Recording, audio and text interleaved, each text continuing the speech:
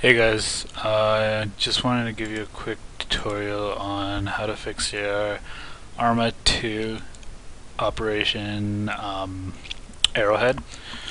Uh, there's that one problem where when you try to launch the game you get an error about no bin some config stuff and then you click OK, you keep going and it crashes and you get no shader error.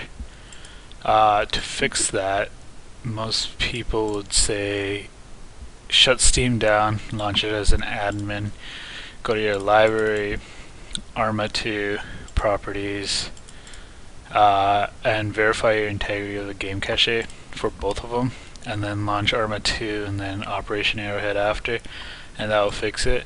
But sometimes that is not the case. Uh, you'll have to go open up run,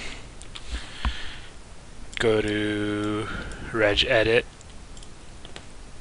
and then because this is already open because I had to do it earlier to fix my game.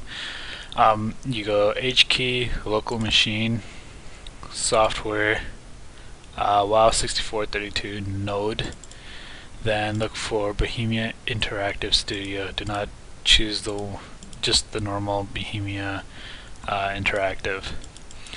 So when you open up the Bohemia Interactive Studio, you have Arma 2 and Arma 2 OA. Um, to make it simple, just delete them. And once you delete them, go back to your library and just launch Arma 2 first, then launch Operation Arrowhead after, and that probably will solve your problem. If not, come back to your registry and right click on Arma 2 OA, go to permissions, and in between systems and advertiser, uh, admin administrators, there should be one more user that says, uh, like for example, mine says Robin-PC. It should say uh, user bracket robin dash pc slash user bracket, and you, want to select that one. You go advanced. Same thing here. Select that exact same one, and it usually type will say denied. That's the one you want. Uh, then you click on edit.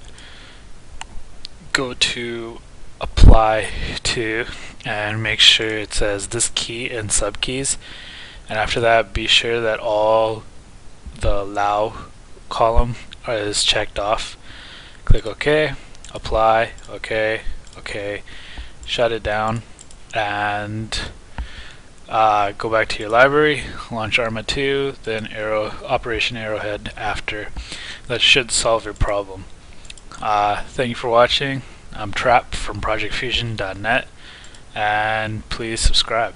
Thank you.